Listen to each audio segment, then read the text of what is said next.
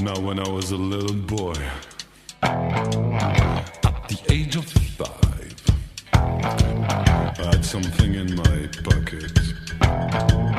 Keeps a lot of folks alive.